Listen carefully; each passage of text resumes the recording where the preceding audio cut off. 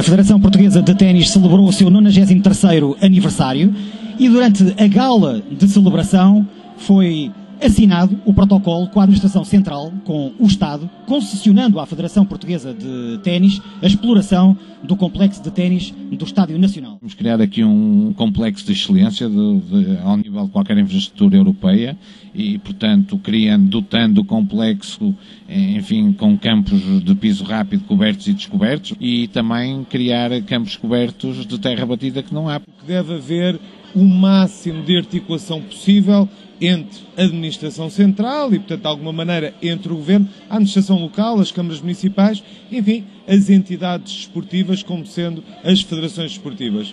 Vamos eh, certamente ter melhores condições uh, para trabalhar. Uh, eu, como equipa, como responsável da equipa do Centro de Rendimento, estou muito orgulhoso de fazer parte da equipa da Federação Portuguesa de Ténis, que alcançou aqui uh, este marco histórico que há muito se perseguia. O que nós queremos aqui é fazer competições internacionais, nível intermédio, e criar também infraestruturas que nos permitam fazer competições como a Taça Davis, torneios, enfim, challengers e inclusivamente também torneios ITF femininos de um grau mais elevado. O Estado tem que garantir naturalmente que todo este centro desportivo do Jamor continua a ser público, de acesso público, de acesso a todos.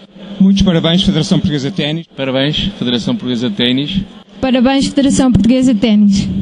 Parabéns, Federação Portuguesa de Ténis. Muitos parabéns à Federação Portuguesa de Ténis. Parabéns, Federação Portuguesa de Ténis. Eu atrevi-me a dizer que é o aniversário mais marcante na história da Federação Portuguesa de Ténis em 93 anos. A Federação já teve vários aniversários, uns foram esquecidos, outros foram festejados de uma maneira mais simpática, menos simpática, mas aniversário marcante no dia dos anos da Federação é que não houve uma cerimónia tão bonita e tão agradável quanto, quanto esta e tão estruturante, porque aquilo que se passou hoje vai marcar indelevelmente uh, o ténis do amanhã.